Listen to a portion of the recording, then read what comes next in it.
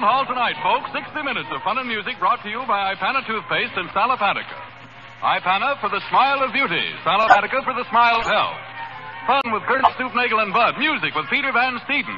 And another big amateur contest. New voices, new music, new fun. It's Town Hall tonight. Listen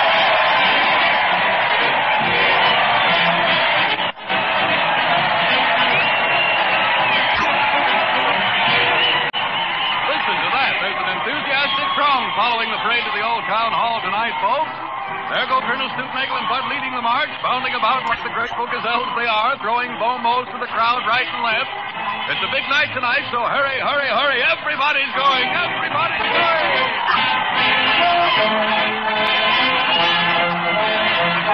Here's Frightwig Upjump, the famous journalist. Where are you going, Mr. Upjump? I'm covering the Colonel's interview tonight, Von Zell. I want a seat down in front.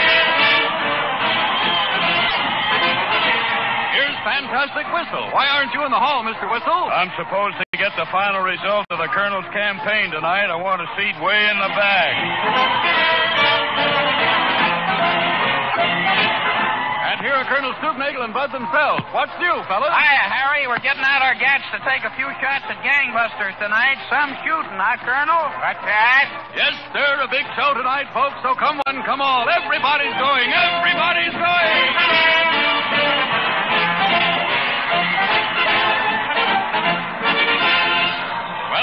Here we are inside the old town hall, all ready to begin the big show. Featuring tonight a scintillating interview with a little man of industry, the final results in the Colonel's campaign, and a Stoopnagle and Budd burlesque of the popular Gangbusters series. But Peter is signaling that he's all set for the overture, and we're off. Full jangles of Harlem. Let it go, Peter.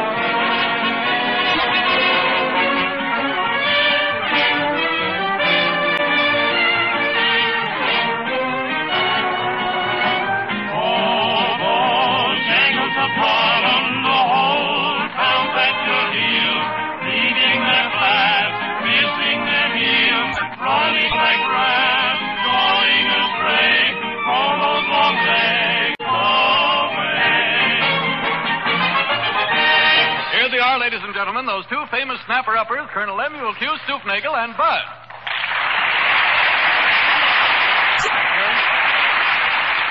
Well, friends, welcome and double welcome and thrice welcome and beyond welcome to Town Hall tonight.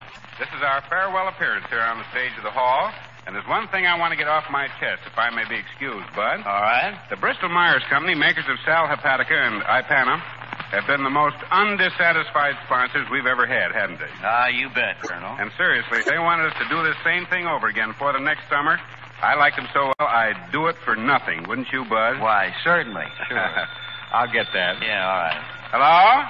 Yes, this is the Colonel. Bristol who? You're not interested, I see. Well, goodbye.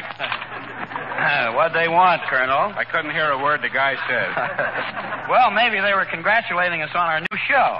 New show? Yeah, yeah, next Sunday afternoon.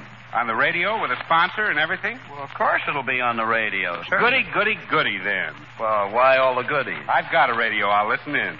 Ah, it's a good trick if you can do it. Now, look, Colonel, I wish you'd sort of give us a few of your new inventions and definitions. Boy, I was hoping you'd ask me for those, Budd. I've been working on a thing I call my sub trailer.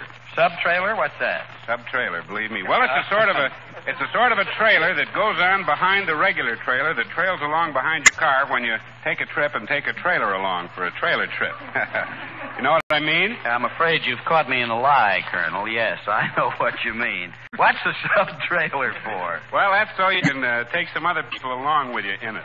Oh, I think that's fine. The other people are an invention, too. Oh, Yeah, they're, they're so you can have people along to borrow stuff from and to talk about. I see. Fine. Then uh, inside, inside of the regular trailer, I have a telephone to save you money. Now, wait, wait just a minute. How can you save money by having a telephone in a trailer? Well, when you think you want to call somebody up, you go ahead and call them up. See, but you can't get them because the phone isn't connected, so that's Ah. where you save money. Why, listen, last year alone, I know a fellow who saved enough money that way to set his son up in business. Uh, what business? The business of selling telephones to trailers that aren't connected, so you can't call, and therefore you save Yeah, enough look, to set look. your up. My stars, Colonel, how under the sun you ever think of silly stuff like that is beyond me. Stars, sun, that reminds me, Budd. I've got a series of definitions for the sun and for the stars and for the rain and the moon that'll slay you. Uh, Want to hear them? I was afraid of that. Definition for the sun, rain, Yeah. moon, and stars, huh? Uh-huh. Well, if you promise to let Peter play afterwards, go ahead. Well, the sun is stuff that you get burned from it. Uh-huh.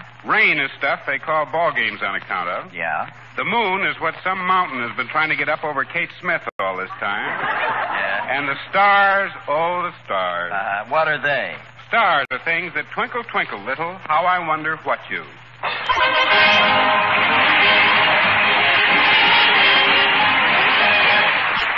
Thank you, ladies and gentlemen. All last week, the Colonel was hard at work, as you heard, in his laboratory on Observatory Hill.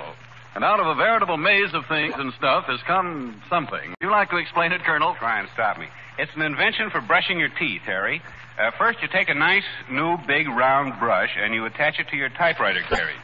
Then you sit down at the typewriter, press your teeth to the brush, and spell out how many petals has a daisy. The uh, the brush moves along, and when Well, Colonel, uh, what's the matter with a toothbrush? oh, they've been invented. Well, then that takes care of everything. Oh, no. no, not exactly, Colonel. Because, seriously, ladies and gentlemen, just brushing your teeth is never quite enough. You've got to take care of your gums, too. Any dentist will tell you that teeth are seldom white and sparkling when gums are soft and tender. That is the reason so many dentists recommend Ipana toothpaste. Because Ipana not only makes your teeth cleaner and more brilliant, but when used with massage has the extra advantage of helping tone and stimulate your gums. Just do this. Every time you brush your teeth with Ipana, put a little extra Ipana on your brush or fingertip and massage it into your gums. In that way, you'll give your gums the toning and stimulation they need to help guard against serious gum trouble. And at the same time, you'll have cleaner, whiter teeth. So always remember Ipana for the smile of beauty.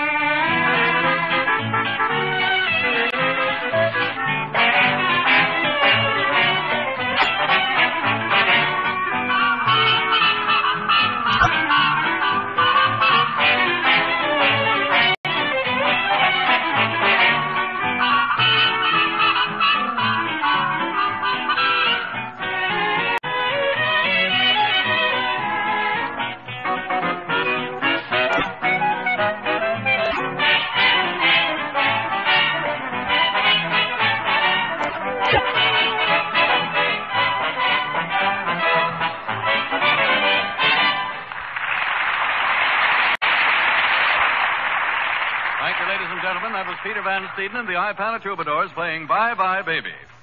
Now we present the final chapter in the historic campaign to keep Stoopnagle out of the White House. Keep him out of the White House. You can tell what he might do. Let's find a place for him in a lighthouse. or maybe we could put him in a suit. A special election of the voters is being held today all over the United States to determine whether or not we shall have Stoopnagle in the White House or out of it. And the jittery candidate sits in his campaign headquarters at Crawling on the Hudson, New York, as reports come in from every nook and cranny of the country. Budd, who has stood by our candidate through thick and thin, high, wide, and handsome, black and blue, and fire and water, is pacing up and down as telegraph machines bring in the news. Quiet! Quiet, quiet, quiet here. Whatever you're doing, drop it. Nice dropping, boys. Now, in a second or two, we expect a report from California. Stand by. Well, here it is now. San Francisco, California.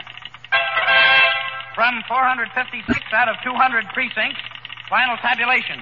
Colonel Lemuel Q. Stoopnagle of New York, no vote. Well, congratulations, Colonel. Not a single vote from California. Thank you, Mr. Fiddlestuffer. Thank you. My, but I'm excited. Maybe I won't get into the White House after all. Hey, is this the campaign headquarters for keeping White Nagel out of the Stoop House? I got a message for you. Hey, eh, hooray, man. Listen to this. It's from Dallas, Texas. It, it says practically complete reports from 678 out of 200 counties here give Stoopnagle no votes and his opponent 456,678. It looks as though I have a good chance of not winning. Oh, boy. Hey, my goodness, what's this?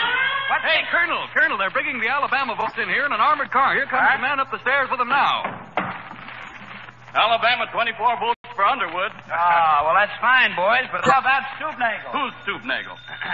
I'll get that phone, men. Uh, quiet now. Hello, campaign headquarters for keeping Stoopnagle out of the thing. Still spickle-nagling. Oh, hello, Ma. Yeah, it's a fine fight, Ma. Yeah, hope uh, hope to lose any minute now, Ma. Yeah. Yeah, I'll be right home, Ma. Goodbye. Uh, who is that, Colonel? My father, he wanted to know about the mortgage. Hey, hey, shut that door. My gosh, that's ice cold wind coming in there. Uh, sorry, sir, but you'll have to stand it for a moment. The Alaska vote is coming in. The vote from Alaska. Well, now, this is fine. I am Captain Bob Carson, folks, and I have come here on my little ship to Norris these many long miles between here and the coast of Alaska. There was a vast amount of interest in the voting, and Stoopnagle is a vast favorite up in the vast stretches of the frozen North Country. Yeah, well, how uh, how was the Wait! voting? Just a minute.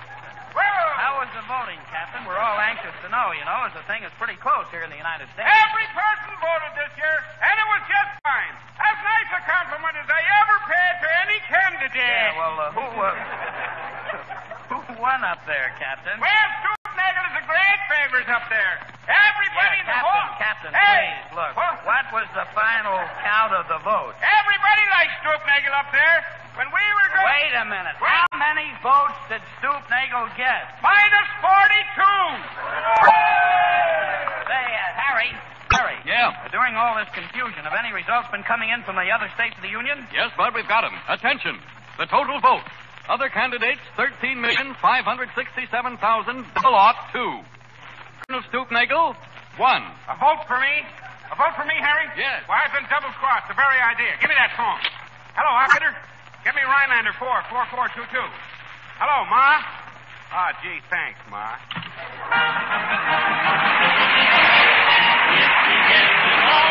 And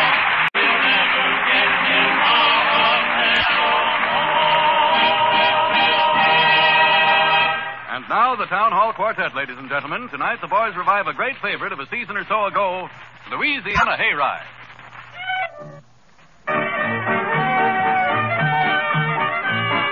Look for the oyster, die for the clam, now for the home in the happy land. Is everybody here now? Yes, indeed. Well, that being the case, I'll now proceed. What kind of fun does you fancy most? Picnic? No, sir. Oyster supper? No, sir. Strawberry festival? No, sir. What kind of fun does you fancy most? You haven't hit yet, but you're mighty close. Don't hold it back any longer, it's a hayride. Yes, sir. It's going. Louisiana hayride. It's going. We always ready. Start something. Louisiana hayride. No use for calling the roll.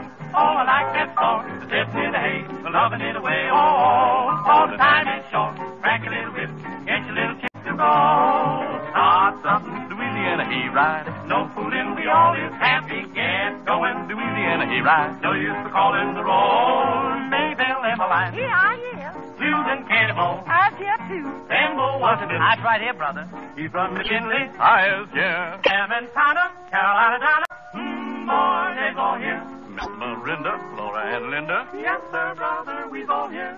Francis Abraham. Highs, yeah. Moses Abraham. you here? We all here. You can see. We all here. So get going. Louisiana Oh, hayride. get going. We all is So ready. stop, stop. Louisiana Oh, hayride. no use for calling the roll. Oh, I like that boat sitting in the hay. And loving it away. Oh, oh. all the time is short. Crack a little whip. and get your little chip to go. So start something, Louisiana hayride. No fooling, we all is happy. Get going, Louisiana hayride. No use for calling the roll. Get going, Louisiana hayride.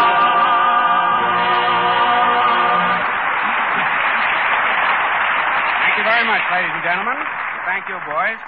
Tonight we're going to do one of those man on the pavement broadcasts. And just to make it a little more confusing, we're not going out on the pavement.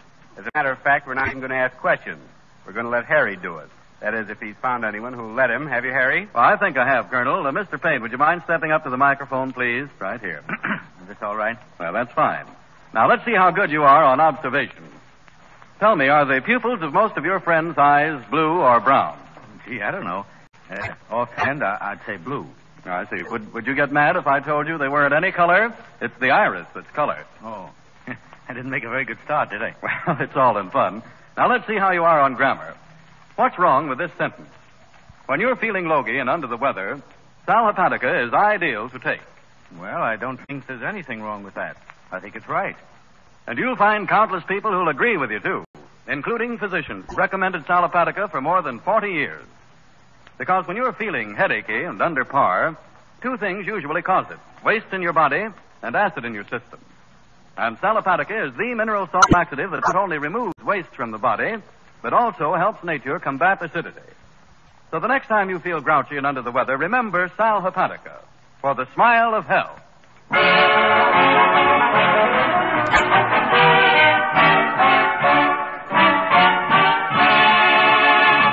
And gentlemen, the Colonel stepped off the stage a minute to finish writing last week's show.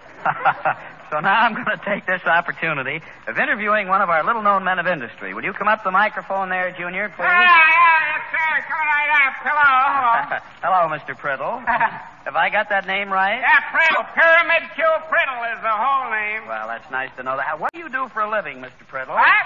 I say, what do you do for a living? I pile the fruit in fruit windows in pretty pyramids. Oh. And a lot on the bottom and Yeah, that's the good uh, on top. So That's you're the guy who does that, huh? Yeah. It must take quite a time to learn to put oranges and lemons and stuff in pyramids that way. Yeah, it does. I guess I was just a natural, that's all. You see, I was born in Egypt, right under the very nose of the pyramid. You were, huh? Yeah, my mother was, but my father wasn't. But we lived there on the desert, and sometimes the sand blew in my eyes. But I don't mind the sand once in a while. Look at spinach. Yeah, spinach yeah. is Now look, I know. Wait a minute. I know all about looking that. spinach? Yes, I've looked at it. yeah. pretty nice. Yeah, it uh, look certainly at is. Yeah.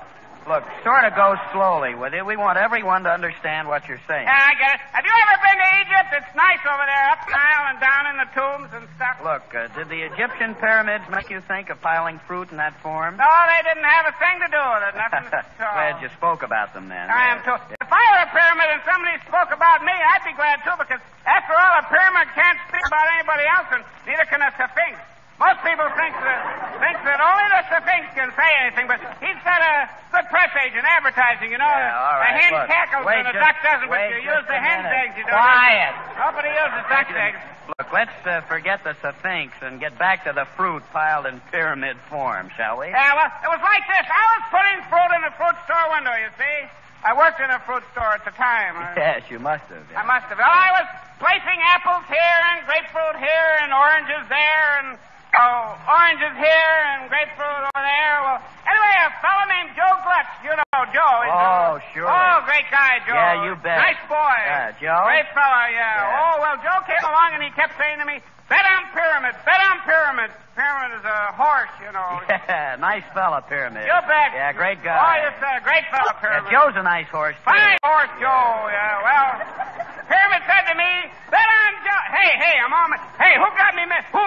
Come out, come out, wherever. Who got... Well, I'm back again well, anyway, while he was telling me to bet on this horse pyramid, I was gradually, unconsciously... What? Yeah, I was gradually, unconsciously... Yeah, I can understand I the unconscious part of it. Yeah. I know. I was gradually, without thinking, sort of piling up the oranges in the shape of a pyramid. Uh-huh. Well, Joe left, and suddenly I heard old Frozen Face coming. Are you the same fellow talking? Yeah, old Frozen Face. Yeah. Who is old Frozen That's Face? what I'm supposed to say. Yeah, say. he's the boss. His real name is Cold Map. We boys call him Frozen Face, but not to his face. Yeah, just to his frozen. Yeah, But, but instead, instead of getting mad at me for shaping the pie like a pyramid, the boss gave Woody up with joy, ran to the phone and called the bookie and put two bucks on pyramid to win. Well, did the horse win? Oh, it's a great race. A nice race. Oh, fine. Yeah, Joe's a nice Oh, race. you bet. Those pyramids. Yeah, which do Oh, you like best, pyramid or race? Oh, of course. Where was I? Now, look. Did pyramid win the race? I mean, that's what we're all interested So in. now the boss has got me doing nothing else but piling oranges and grapefruit in the shape of pyramids in the window of the fruit store. Yeah, but what do you do meantime for recreation? Well, I've been trying a new stunt. I've been trying for months now to put the pyramid in the window upside down. Well, you have any luck? Luck, you bet. The horse came in and paid five to one.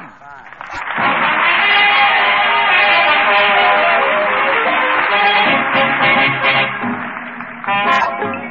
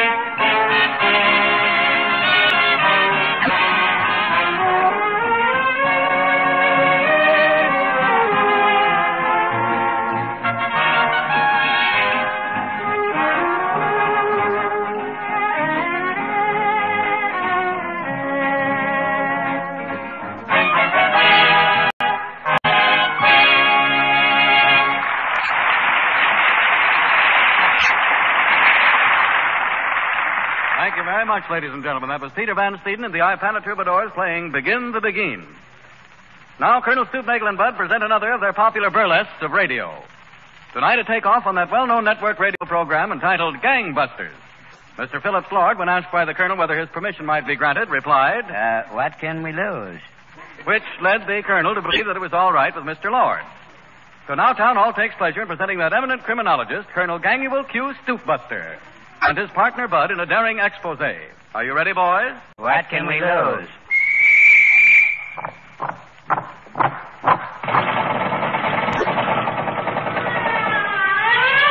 Calling the police, calling the G-men, calling the trains, calling the army, calling the navy. Can't you hear me calling Caroline?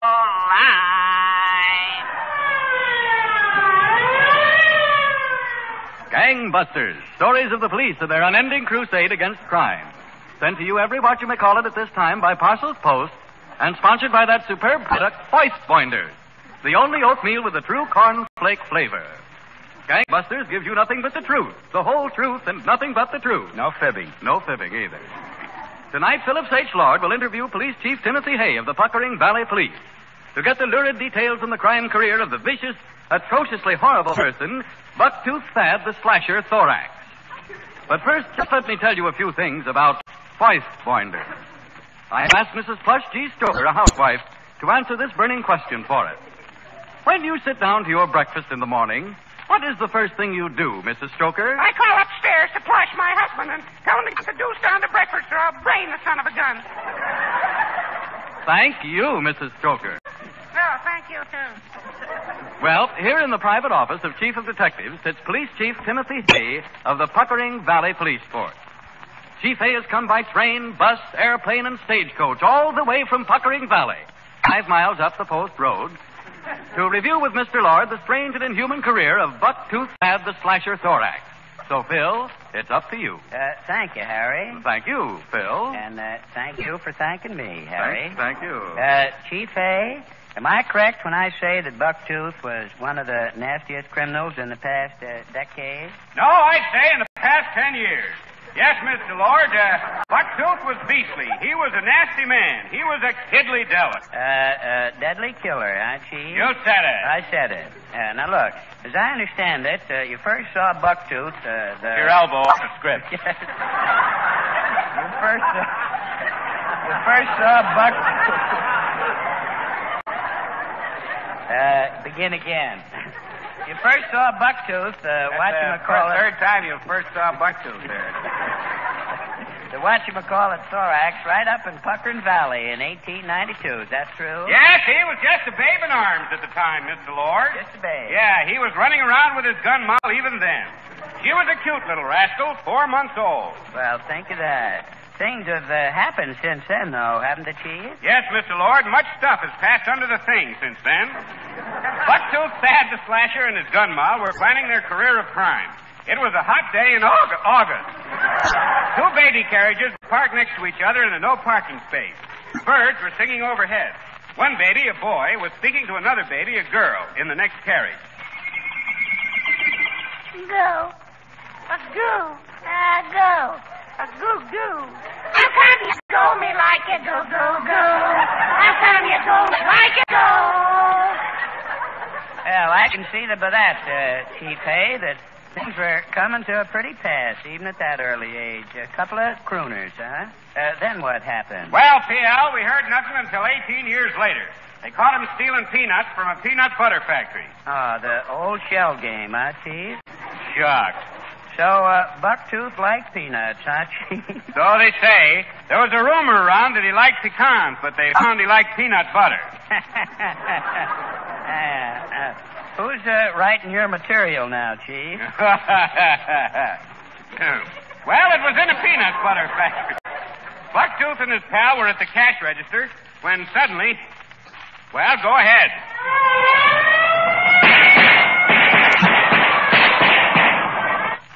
That must have been an awful mess, uh, Chief. Uh, how many were killed? Well, sir, not a shot was fired. Well, shut my mouth. Uh, what happened then? Well, he was sent up the river for ten years. The next we heard of him was the day after he went to Sing Sing. Of course, when he got out, he immediately went back to his old pals of the underworld. His best friend at that time was Cuthbert the Gouger. So now, Mr. Ford, we will have a scene where Thad the Slasher and Cuthbert the Gouger are entering a jewelry store with the idea of stealing jewels. A new idea. Listen. Hey, hey, easy there. Easy, said the slasher thorax. Yeah. Do you want the whole neighborhood to hear it? Ah, let up, Cuthbert the Gouger. I guess I know my business. Now raise the window and get inside. Okay, kid. Uh, hey, I don't like the looks of the joint. Oh, shut up, shut up. Now, look, here's the cash register. Let's see, you push the little valve down. Hmm. Empty, huh? Well, I guess we gotta get the safe. Where's that safe? Have you seen a safe? Or... Oh oh, oh, oh, yeah, here it yeah. is. They keep the jewels well locked up. There's nothing like a safe for keeping jewels. Yes, and there's nothing so safe as eating price pointers, the oats that taste like cornflakes. Hey, hey, who is this guy? A copper? No, he's just one of them radio advertisers. Go ahead and open the safe. He ain't gonna bother us. When your little boy comes home early from school in the afternoon after a hard day and he says, Mother, I'm hungry, what do you do? Tell him he can't have anything to eat until dinner time? Perhaps. But if you were a wise mother, you will say to him, Hand me that nitroglycerin.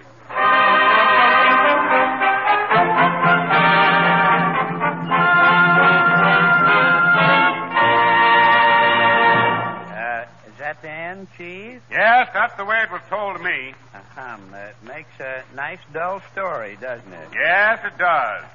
Thanks, Chief. And Yeah. now, uh, Harry, if you will, please, I'd appreciate it if you'd announce something about clues, which we always broadcast uh, at the end of our programming. All right, Phil. We now bring you several honest to goodness clues. Sent in to us from police chiefs all over the country. A clue from the chief of police of Dandruff on the Knob, Nevada. We want information on Budd, partner of the team known as Snagel and Budd, for grand larceny. When last seen, he was jumping off the top story of the Empire State Building with a piece of fly paper in his hand. If located, please gather up the pieces and lose them. A clue from the chief of police of Puckering on the Valley. Information wanted on the whereabouts of a man calling himself Colonel Stoopnagle. He is about 200 feet high and weighs 38 pounds. When last seen, he was wearing umbrellas on his feet and carrying a pair of high button brown shoes above his head. If found, please notify. Please notify. What about his record? It's broken. It's broken. It's broken. It's broken.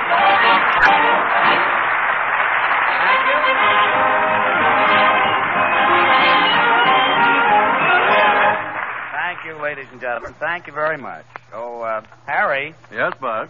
say, since Fred Allen will be back next week, and since this is the last time we'll be on this program with you, the Colonel and I want to know if you'll do us a little favor, will you? Why, certainly. What is it? Well, will you give us something to remember you by? You bet I will. What do you want? Well, one more talk about Ipana toothpaste. All right, boys. Ladies and gentlemen, always remember that Ipana is more than a toothpaste. Because when used with massage, Ipana also helps to tone and stimulate your gums. And that is mighty important because dentists say The many creamy, well cooked foods we eat nowadays do not give our gums enough work to do to keep them firm and healthy. So they grow lazy and soft through lack of exercise and stimulation. And you can supply that stimulation by massaging your gums with Ipana. Put a little extra Ipana on your brush or fingertip and massage it into your gums every time you brush your teeth. And in that way, you'll give your gums the toning and stimulation they need to help guard against serious gum trouble. You'll have healthier gums, bright teeth, and a more attractive smile if you'll always remember Ipana for the smile of duty. Now, ladies and gentlemen, Town Hall tonight will continue immediately following your station announcement.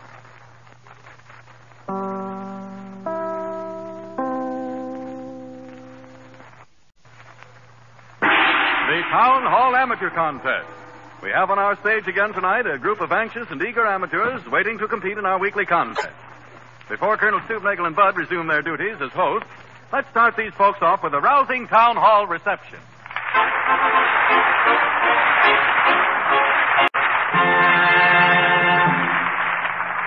Now, as usual in the proceedings of our contest, you and our studio audience will act as judges.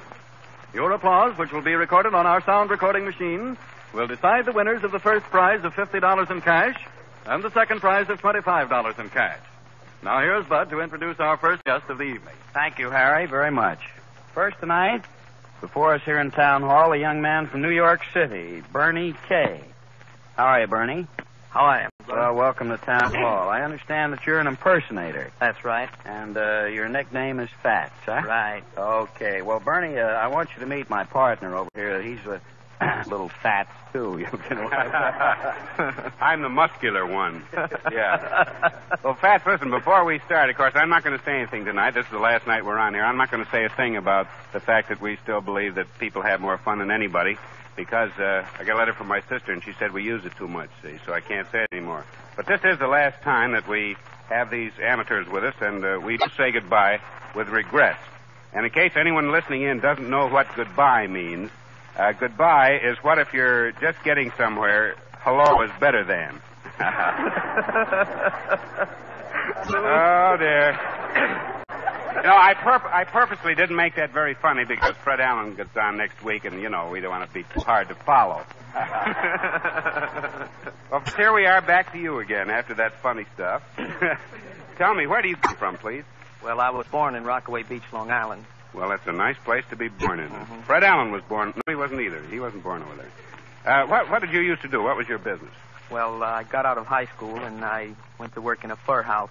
Fur house? What Yeah. kind of fur? What Skunk? kind?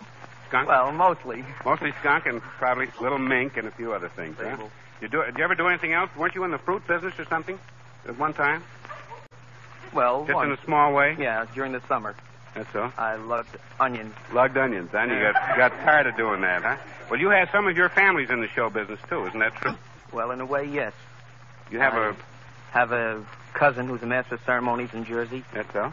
and uh, another cousin of mine is connected with RKO, Oh, really? booking offices. Oh, that's grand. Well, now, Budd, you come and take uh, Bernie uh, and uh, ask him what he's going to sing and stuff. Yes, yes, sir, Colonel. Well, Bernie, I understand that you're to. Uh... quiet, Astaire, quiet. I, uh... I understand, Bernie, that uh, that you're going to offer impersonations of Herman Bing, the young man who sang in the picture. The music goes round the round, and the title of the song is the same. right. And second, you're going to imitate Fats Waller singing "Shoeshine Boy." Correct. Bernie, go right ahead. I blow through here, and the music goes round and round. Ooh, ooh, ooh. When it comes out here, right there, I push the first bass down, and the music goes round and round. Ooh, ooh, ooh.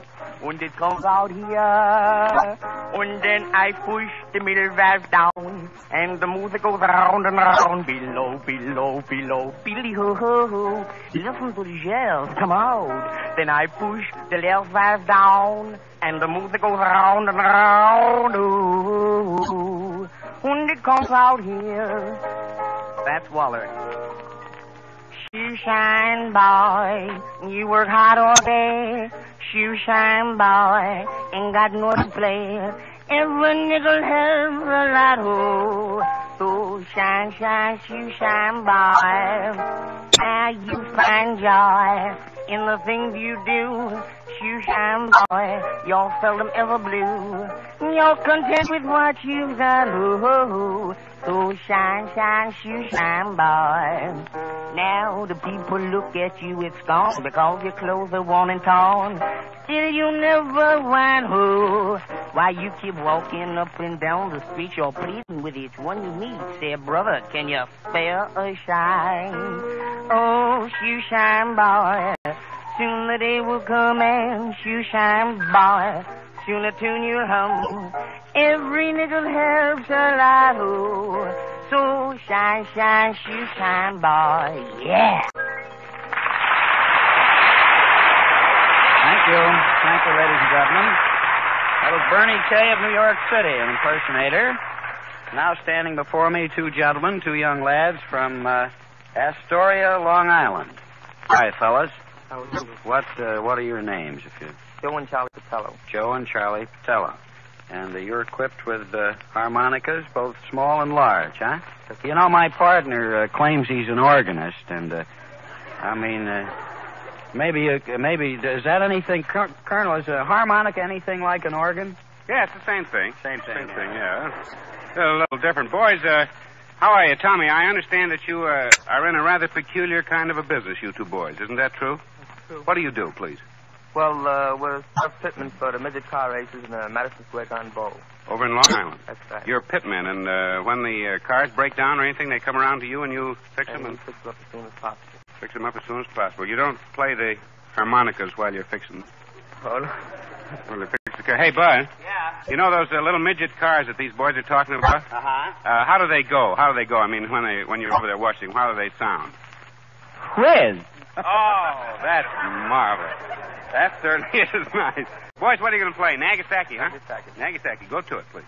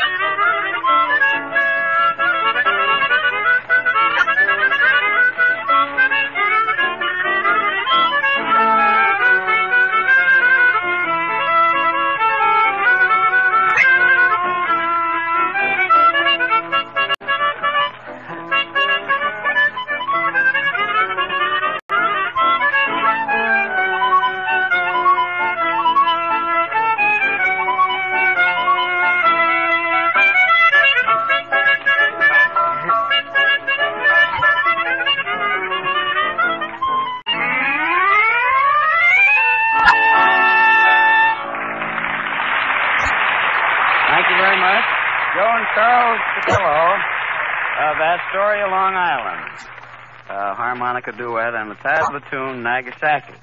Now we have two uh, people standing before us here in Town Hall. A young lady by the name of Jane Thompson, who, who comes from the Bronx, and uh, a boy by the name of Robert Warren. Incidentally, Robert is a composer, and I believe tonight that he's going to accompany Miss Thompson, and Miss Thompson is going to sing one of Robert's songs. Uh, welcome to Town Hall. I understand you're from uh, Brookline, uh, Massachusetts, originally. Right. Well, it's nice having you here. And Miss Thompson was born in the Bronx. Mm-hmm, that's right. Well, it's nice having you both. Colonel, come in and meet a couple of nice people here. Hello, nice people. How are you? We're glad to see you here.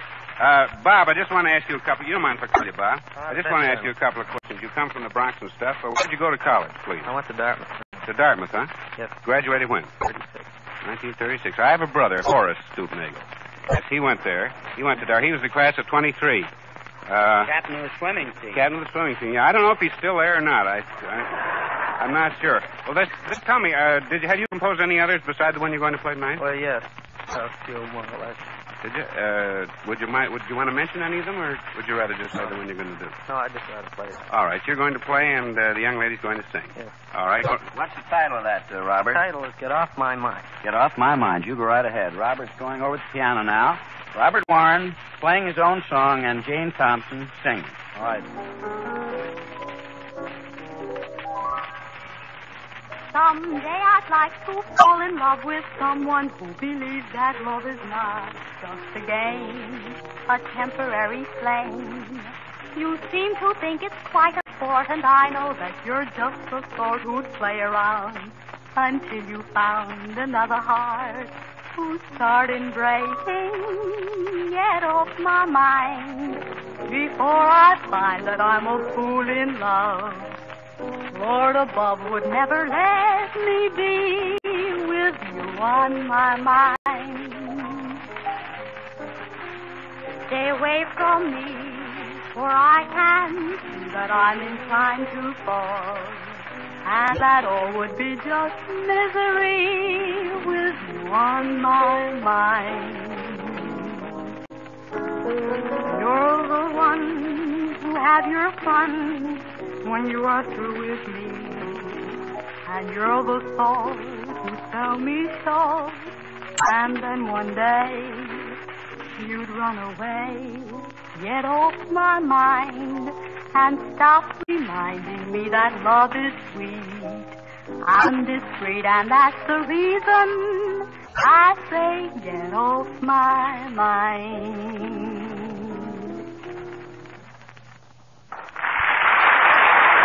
Thank you very much. Thank you. That was James Thompson, Robert Warren. Robert's own composition. Can't get you off my mind. All right. Now we really have quite a thing here, ladies and gentlemen. Quite a thing. Incidentally, all the way from Bermuda. Is that right? Yes, sir. Ah, and your names, please. Arthur Smith. Arthur Smith and yours? May Smith. Mace, brother and sister, huh? Yes, sir. And from Bermuda. Yes, And when did you get up from Bermuda? Uh, about six weeks ago. About six weeks. You didn't, by any chance, when you were in Bermuda, see anybody with the name of Sylvester Weaver wandering around down there, did you? No, I never. Well, we, uh. We have a production man uh, on our show here. Uh, he spent his vacation down there at a place called the Coral Island Club. Uh, do you know where the Coral Island Club is? Yes, sir. Did you ever go over and have fun over there? Yes.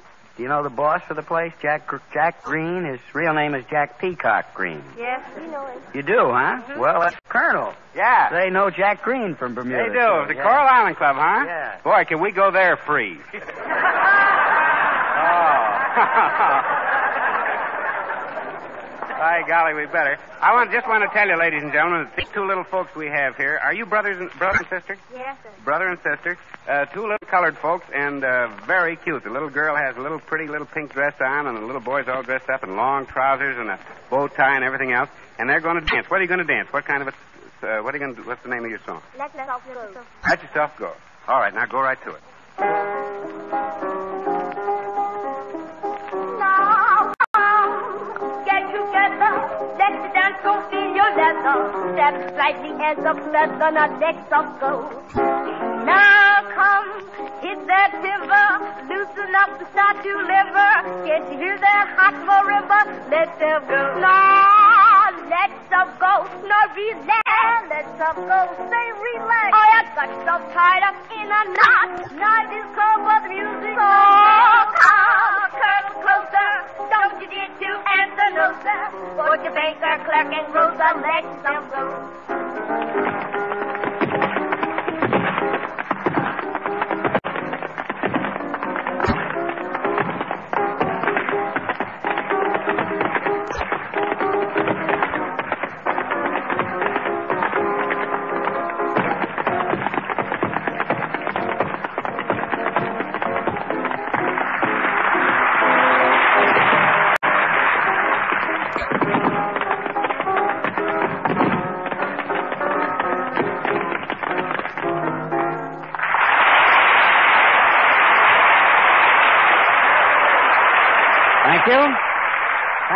Much. Little colored girl and boy from Bermuda, dancing and singing, Let Yourself Go. Now coming up from Union City, New Jersey. Well, good old New Jersey. That's my home state. yeah, Union City's the honor city tonight, too. I'm going to say. Uh, Harry Steiner. Harry, welcome to Town Hall. Thank you. A baritone. Incidentally, uh, that reminds me, sitting out in the audience is a very, very dear, an old friend of mine who comes from Asbury Park, New Jersey, and he's a baritone, too. Uh, Bill Jordan. He's sitting out in the audience, so I want you to do a good job because he likes baritone singers. He's quite a singer. Colonel, come in and meet somebody from my home state here. Hello, somebody from his home state. How do you do? oh, yeah, you- Jersey, huh? Right. Well, you know, Budd and I are going down to Atlantic City next week for for some party uh, given by the governor, or is that for the governor? It's, uh, well, I'm, well, I'm, Huh? maybe it's, uh, I'm not quite sure whether it's for him or given by him. You're not, eh? No. Oh, gee, I don't know what I'm going to do. I, well, mixed up. Uh, we don't know who it's It's for Hoffman, though. Hoffman. All right. Well, that's what's that got to do with this fellow that's going to sing? Nothing. Well, the Hoffman's the governor in New Jersey, that's all. Oh. Well, all right. He's a governor. Let's. What, what's he going to sing? Well, look, Harry, what are you going to you know, we don't want to make this too funny. You know. Don't worry, we're not. Harry, what are you going to sing, huh? One alone. One alone. Harry Steiner of Union City. All right, you go right ahead.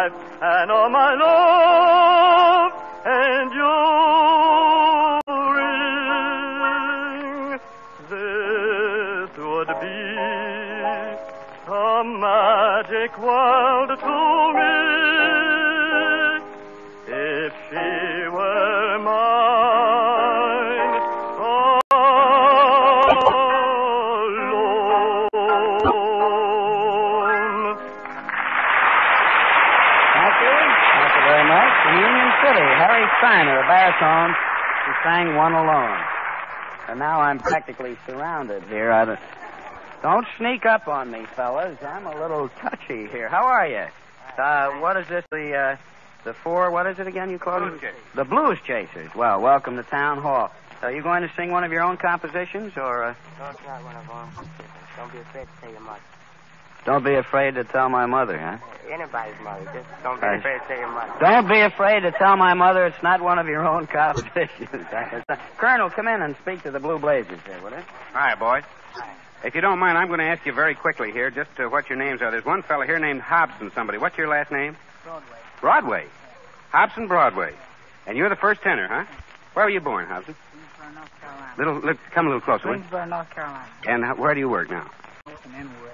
In a drugstore? No, I work for a shoe. Oh, in the shoe repair. I got them a little mixed up here, yes. Uh, somebody, I've got to get after Uncle Jim. He doesn't give me the right dope on you fellas. Then uh, there's a second tenor here, Clarence Walker. That's my name. That's your name, and you got the guitar there, huh?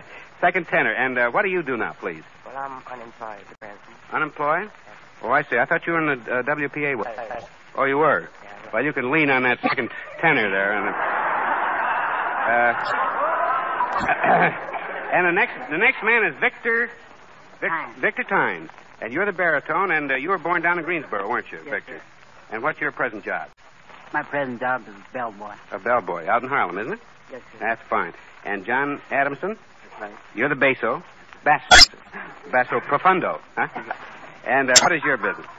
Messenger clerk. You're a, a messenger clerk. Well, that's fine. Now we got everything all set. Uh, colored male quartet, ladies and gentlemen, singing "Don't Be Afraid to Tell Mother." Okay. Don't be afraid to tell your mother, afraid that she'll discover that you and I have planned a little home. Don't be afraid to tell her so. She must be told you so. For our lives we must live all alone. Boom, boom, if you tell her that you love me, dear, and I'll be waiting at your door. But if I have to wait around a year, I'll have to say I'm going away and never come back no more. Don't be afraid to tell your mother, afraid that she'll discover that you and I planned a little home. I mean, that you and I planned a little home.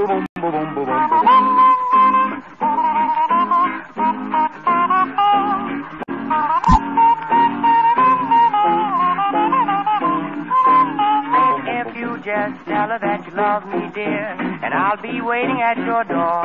But if I have to wait around a year, I'll have to say I'm going away and never come back no more. Don't be afraid to tell your mother, afraid that she'll discover that you and I planned a little home. I mean, that you and I have planned a little home. Thank you. Thank you very much. That was the Blues Chasers, a colored male quartet from New York, singing Don't Be Afraid to Tell Your Mother. And now, another instrumental group, ladies and gentlemen, the Arrowhead Swingsters, Angelo, Frank, and Mike. Instrumental trio. They're going to do Tiger Rag. Before you begin, boys, the Colonel has uh, just a word to say to you. Hello. Thank you, Colonel. Now, the Arrowhead Swingsters. Now, let's get at that Tiger Rag. One, two, and right in there and play.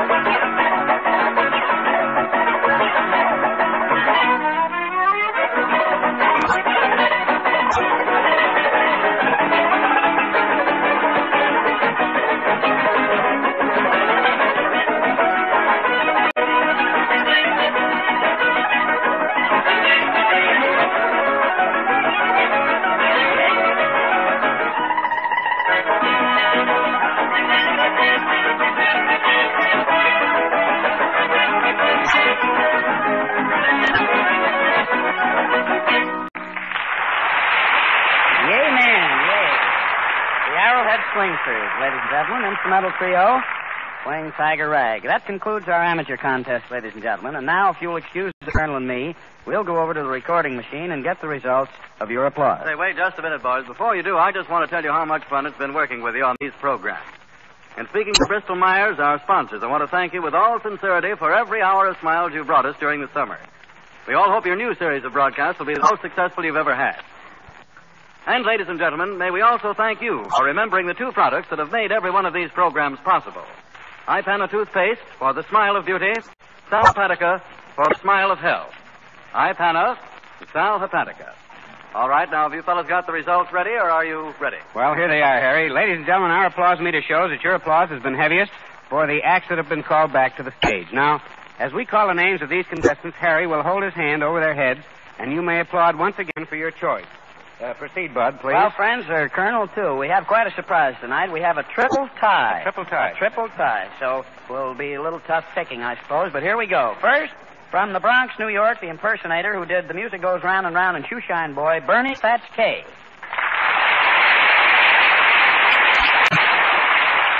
Next, from Duluth, Minnesota, the boys, the instrumental trio who just played Tiger Rag, the Arrowhead Swingsters.